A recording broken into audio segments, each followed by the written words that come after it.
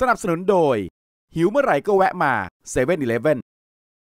Business Watch ค่ำคืนนี้จะไปจับกระแสอุตสาหกรรมชิปและเซมิคอนดักเตอร์ระดับโลกเลยนะคะ ว่าตอนนี้สถานการณ์เป็นยังไงบ้าง เพราะว่าถ้าเกิดว่าเรามองย้อนกลับไปในช่วงสถานการณ์โควิด -19 นะคะ ช่วงนั้นเนี่ยชิปและเซมิคอนดักเตอร์เนี่ยขายดีมาก ๆ ค่ะ เพราะว่าคนอาจจะล็อกดาวน์อยู่ที่บ้าน อาจจะต้อง work from home ทำงานที่บ้านนะคะ แล้วก็ชิปเซมิคอนดักเตอร์เนี่ยเป็นส่วนประกอบสำคัญในคอมพิวเตอร์ในแล็ปท็อปในอุปกรณ์เครื่องใช้ไฟฟ้า หรือแม้แต่ชิ้นส่วนบางส่วนในอุปกรณ์ยานยนต์ด้วยนะคะ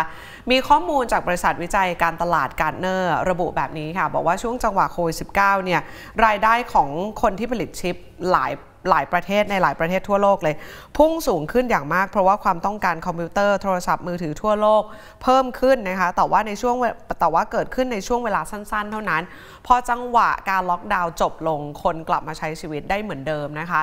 อุตสาหกรรมชิปและเซมิคอนดักเตอร์ก็กลับมาซบเซาอยู่สัก สักพักหนึ่งเหมือนกัน มีตัวเลขนะคะว่ายอดจำหน่ายในปี 2566 ลดลงเนี่ยคุณผู้ชมดูตัวเลข ลดลงร้อยละ 11 นะคะ มูลค่าตอนนั้นอยู่ที่ 534,000 ล้านดอลลาร์สหรัฐ เพราะว่าก็อาจจะเป็นเพราะว่าลูกค้านะคะ มีความต้องการที่จะใช้ชิปเซมิคอนดักเตอร์น้อยลง แล้วก็บางบริษัทมีการประหยัดงบตัวเองเพิ่มมากขึ้นค่ะ ทีนี้ผู้เชี่ยวชาญจาก Gartner ก็บอกนะครับว่าพอความต้องการใช้สินค้าไม่ว่าจะเป็นสมาร์ทโฟน หรือคอมพิวเตอร์ลดลงหลังจากช่วงสถานการณ์โควิด -19 ผ่านพ้นไปแล้ว ความต้องการชิปก็ลดลงตามไปด้วย ความจำเป็นในการผลิตหรือว่าติดตั้งตัวศูนย์ข้อมูล ลดลงตามไปด้วย ความต้องการชิปก็ลดตามนะครับและอุตสาหกรรมการผลิตชิปเนี่ยถือเป็นจุดเริ่มต้น การตั้งต้นของการที่จะเป็นห่วงโซ่อุปทานในการผลิตตัวคอมพิวเตอร์หรือสมาร์ทโฟน แล้วการผลิตชิปเนี่ยมันมีความซับซับซ้อนอยู่ค่อนข้างจะเยอะยิ่งขนาดเล็กเท่าไหร่ความซับซ้อนก็จะมีมากขึ้น ระยะเวลาของการผลิตมันก็จะมีเยอะมากขึ้นกว่าเดิม มันจึงเป็นเหตุผลว่าเวลาที่ลูกค้าสั่งผลิตชิปเนี่ยเขาต้องสั่งต่อแต่เนิ่นๆ วางแผนล่วงหน้านะครับมันก็เป็นการสะท้อนให้เห็นถึงความคาดหวังของลูกค้าต่อธุรกิจของตัวเอง ในอนาคตว่ามองไว้อย่างไรบ้าง ในอดีตเนี่ยเขามีข้อมูลว่าเปรียบเทียบกันว่าระหว่างยอดจำหน่ายการผลิตชิปนะครับกับเศรษฐกิจของโลกเนี่ยเวลาเติบโตจะไปในทางเดียวกัน ถ้าเศรษฐกิจโตตัวผลิตชิปก็จะเพิ่มมากขึ้น ถ้าตัวผลิตชิปไม่ค่อยดีเศรษฐกิจโลกก็ไม่ค่อยดี พอจะแปลได้แบบนั้นนะครับบริษัทการเนอร์ประเมินด้วยครับว่าในปีนี้คือ 2567 รายรับโดยรวมของอุตสาหกรรมผลิตชิปเนี่ยเป็นมีความเป็นไปได้ว่าจะเพิ่มมากขึ้นร้อยละ 17 นะครับ ไปอยู่ที่ประมาณ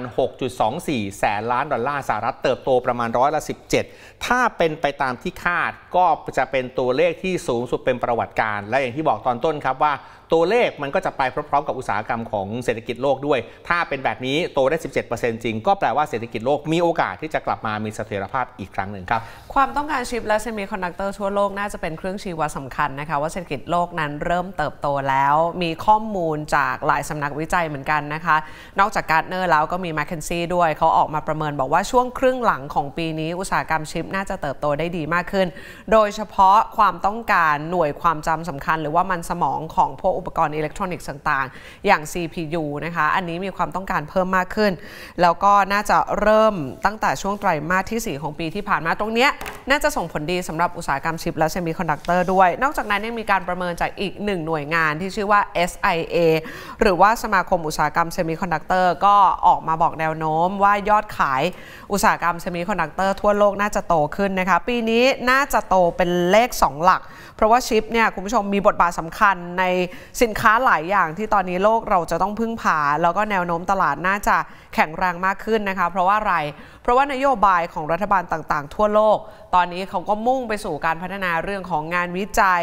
เรื่องของ digitalization นะคะ อันนี้น่าจะผลักดันทำให้อุตสาหกรรมชิปเติบโตได้อย่างน่าสนใจในปีนี้ค่ะ เราเห็นสัญญาณการฟื้นตัวของตลาดชิป ฟื้นตัวมาตั้งแต่ช่วงครึ่งหลังของปี 2566 นะครับ โดยเฉพาะไตรมาสที่ 4 เนี่ย ตัวเลขยอดขายอยู่ที่อยู่ที่ประมาณ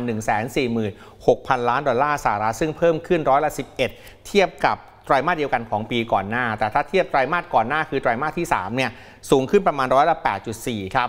ดูยอดขายทั่วโลกเนี่ย ตัวเลขอยู่มากกว่า 48,600 ล้านเหรียญสหรัฐ อันนี้เฉพาะเดือนธันวาคมเดือนเดียวนะครับ เพิ่มขึ้นร้อยละ 1.5 ถ้าเทียบกับเดือนพฤศจิกายน อันนี้ต้องถือว่าเป็นแนวโน้มที่ดีมาก ทีนี้เราจะย้อนกลับไปดูกันหน่อยว่า ปี 2566 นะครับ ยอดขายของชิปการเติบโตของยอดขายชิปทั่วโลกเนี่ยตลาดสำคัญสำคัญเป็นยังไงบ้าง ปรากฏว่าภาพที่ออกมาโดยรวมนะครับ ยังไม่ค่อยสดใสสักเท่าไหร่นัก เริ่มต้นไปดูที่จีนกันก่อน ยอดขายที่จีนลดลงถึงร้อยละ 14 ครับ แต่ว่าก็ยังเป็นประเทศที่เป็นแชมป์นะครับ ขายชิปสูงสุดแสนแปดหมื่นกว่าล้านดอลลาร์สหรัฐ ตลาดที่เอเชียแปซิฟิกยอดขายลดลงไปร้อยละ 10.1 ตลาดที่สหรัฐอเมริกาย่อลงไปร้อยละ 5.2 ญี่ปุ่นก็ลดลงร้อยละ 3.1 มีแค่ตลาดที่ยุโรปที่เดียวนะครับบวกเพิ่มขึ้นมาร้อยละ 4 ก็คือถือเป็นประเทศเดียวตลาดเดียวที่เติบโตในปีที่แล้วครับสำหรับยอดขายชิปเซมิคอนดักเตอร์เมื่อปีที่แล้ว ถ้าเกิดว่าเราแบ่งตามกลุ่มผลิตภัณฑ์นะคะ อะไรที่ขายดีกันบ้าง อันดับที่ 1 เลย เขาเรียกว่าชิปอนาล็อก ซึ่งเป็นชิปที่ถูกใช้ในพวกรถยนต์เครื่องใช้ไฟฟ้าแล้วก็คอมพิวเตอร์นะคะ ซึ่งชิป logic ทำยอดขายได้ 178,500 ล้านดอลลาร์สหรัฐซึ่งถือว่าเป็นกลุ่มผลิตภัณฑ์ชิปเซมิคอนดักเตอร์ที่มียอดขายอันดับหนึ่งมากที่สุดค่ะ ส่วนอันดับที่2นะคะจะเป็นพวกหน่วยความจำพวก CPU ต่างๆ อันนี้มูลค่า 92,300 ล้านดอลลาร์สหรัฐ ยอดขายมาเป็นอันดับที่ 2 ตามมาด้วย Micro Controller หรือว่า MCU นะคะ อันนี้เพิ่มขึ้นร้อยละ 11 ยอดขาย 27,900 ล้านดอลลาร์สหรัฐ ชิป IC สำหรับยานยนต์เพิ่มขึ้นร้อยละ 24 ยอดขาย 42,200 ล้านดอลลาร์สหรัฐ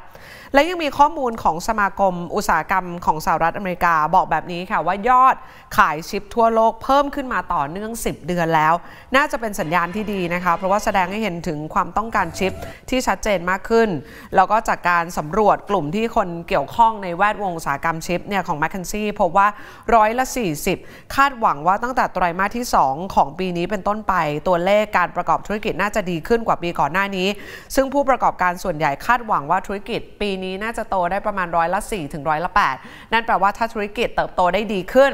ความต้องการชิปก็น่าจะเพิ่มขึ้นตามมาด้วยนะคะ แต่ว่าแน่นอนก็ยังมีสิ่งที่ยังมีความไม่ชัดเจนอยู่เหมือนกัน แล้วก็เป็นปัจจัยที่ถือว่าเป็นความท้าทายสำหรับอุตสาหกรรมชิปเซมิคอนดักเตอร์เหมือนกันนะคะ นั่นก็คือพฤติกรรมของผู้บริโภค รวมไปถึงตลาดจีน ที่ตอนนี้สภาวะเศรษฐกิจของจีนนั้นก็ยังคงเปราะบางอยู่ และอุตสาหกรรมชิปเนี่ยมียอดจำหน่ายสินค้ากว่า1ใน 3 ด้วยนะคะ ที่ต้องขายให้กับประเทศจีน ถ้าเกิดว่าพฤติกรรมของลูกค้า หรือสภาวะเศรษฐกิจของจีนเนี่ยได้รับผลกระทบแน่นอน อุตสาหกรรมชิปก็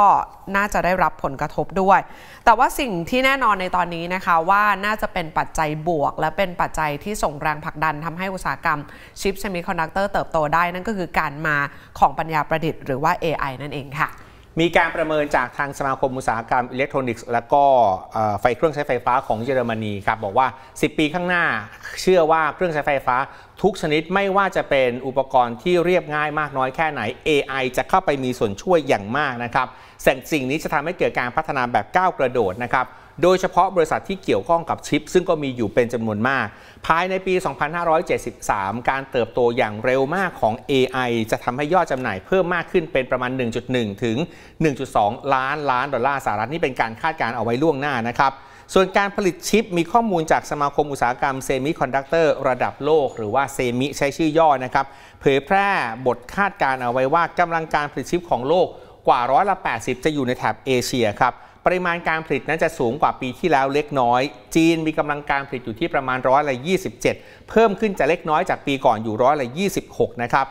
สหรัฐอเมริกามีสัดส่วนการผลิตอยู่ประมาณร้อยละ10 นะครับ ยุโรปมีสัดส่วนการผลิตร้อยละ9 แล้วก็ตอนนี้ทั้งสหรัฐอเมริกายุโรปก็พยายามจะฟื้นห่วงโซ่อุปทานชิปใหม่อีกครั้งหนึ่งคาดการณ์ว่าเร็วที่สุดที่สามารถจะเพิ่มได้คือในช่วงปี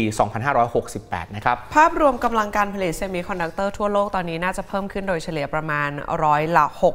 0.4 นะคะ หรือว่าเกินกว่า 30 ล้านเวเฟอร์ต่อเดือนนั่นเอง ในปีนี้นะคะ ซึ่งถือว่าเป็นสถิติสูงสุด เป็นสถิติใหม่ด้วยนะคะ แล้วถ้าเกิดว่าคำนวณกับแผ่นเวเฟอร์ขนาด 8 นิ้วเนี่ย ความจุที่ทั่วโลกผลิตได้ในปีที่แล้ว ก็จะนับว่าเพิ่มขึ้นประมาณร้อยละ 5.5 หรือประมาณ 29.6 ล้านเวเฟอร์ต่อเดือนนั่นเอง ตอนนี้หลาย ๆ โรงงานที่ผลิตชิปและเซมิคอนดักเตอร์ต้องใช้คำว่าทั่วโลกเลยนะคะครับกำลังเร่งกำลังการผลิตมาก ๆ เลย โดยสมาคมอุตสาหกรรมเซมิคอนดักเตอร์ทั่วโลกเนี่ยบอกว่าโรงงานผลิตชิปแห่งใหม่ 42 แห่ง